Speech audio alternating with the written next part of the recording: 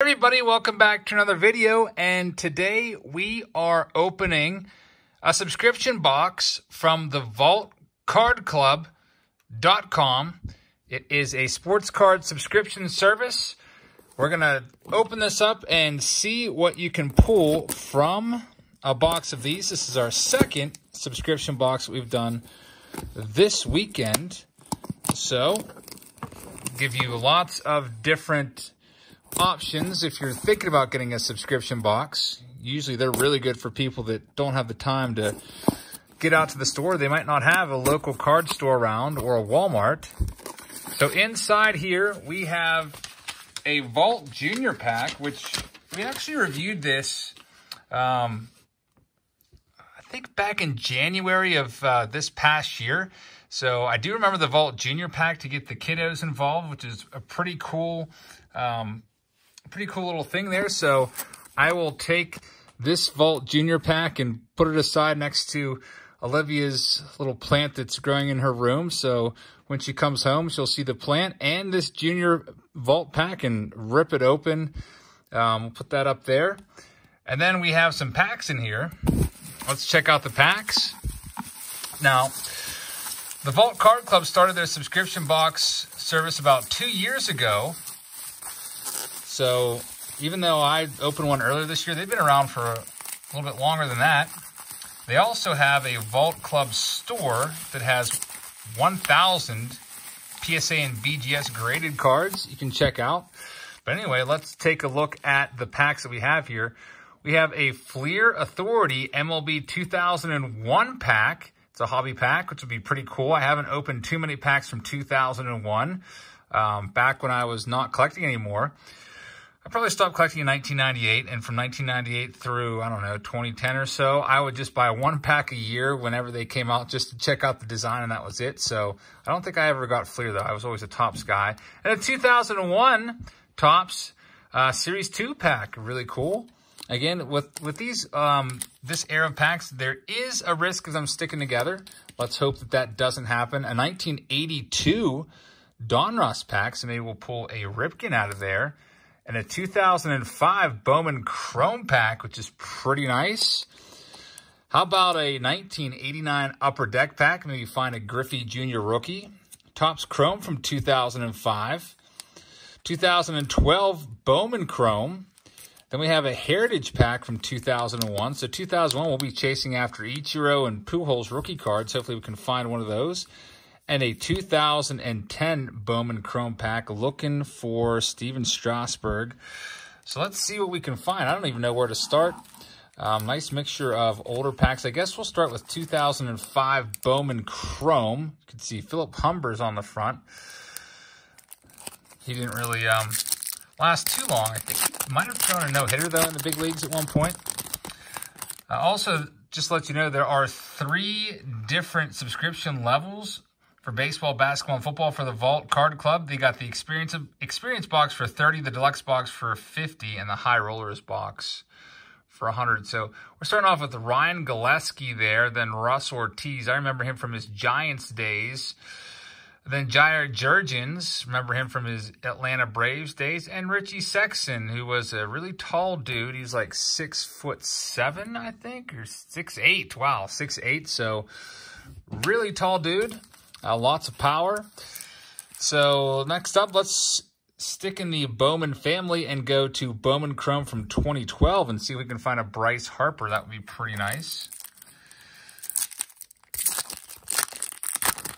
Let's see what we've got in here. We've got Ian Kennedy, Nyjer Morgan, former Bucket right there, Jeremy Noack, and Kevin Pillar's first Bowman Chrome card. Pretty nice.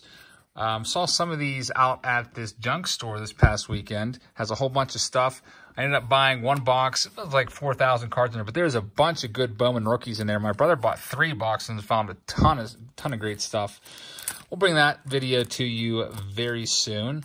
All right, let's do Bowman Chrome from 2010. Also, I'm opening this. This week, I, I see a note here in the box that the Vault Club has also introduced a new product called the Classic Box which is the one that I am opening right now. So this is the classic box. This is currently offered for only baseball and football. So that's why these packs are a little bit older. You don't see any new ones in here.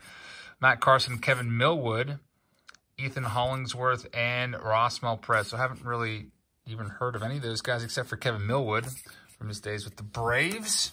So the classic box, basically, if you're wondering how much this box cost, it is $79.95 and consists of packs from 2012 and before. And you have the opportunity to pull some rookie cards, like this 2001 Fleer pack. Maybe we'll find somebody such as an Ichiro or Pujols hiding out in here. That'd be pretty nice. Chasing after the rookies. So we have Roberto Alomar leading things off. Sean Green. Then we have a Nomar, Nomar, Nomar Garciaparra with a seal of approval. Mike Sweeney and Preston Wilson. Why don't we stay in the 2001 year and do this 2001 Topps Series 2.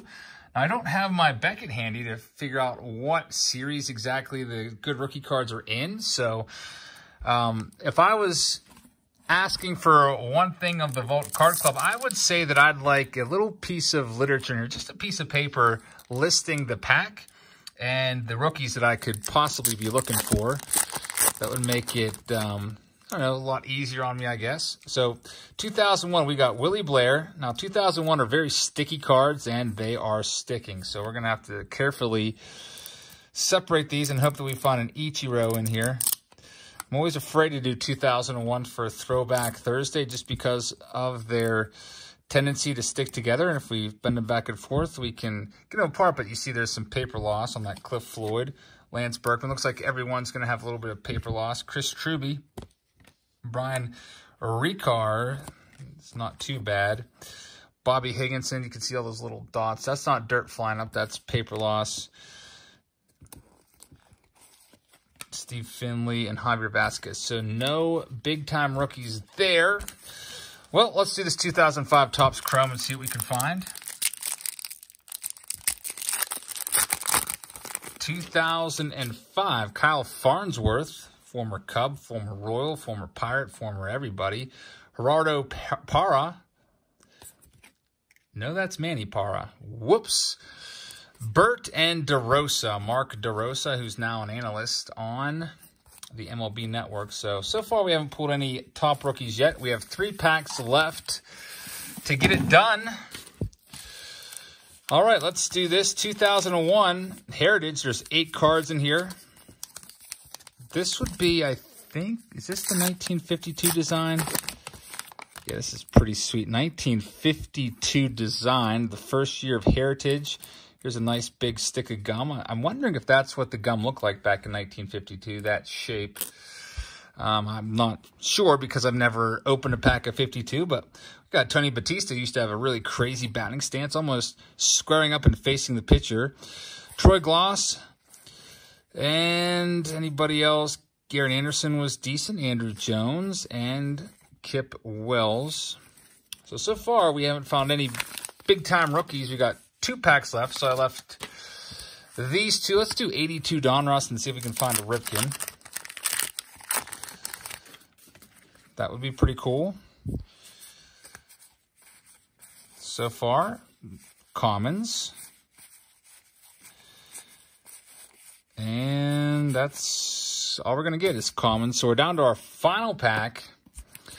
It is a pack of 1989 Upper Deck. We'll be looking for the Ken Griffey Jr. rookie card, Randy Johnson, Gary Sheffield, Craig Biggio, John Smoltz. Let's see if we can find them. Usually a box of these goes for at least $100. So packs of these, typically if you see them at, I don't know, card show are usually at least, they're around five bucks or so per pack.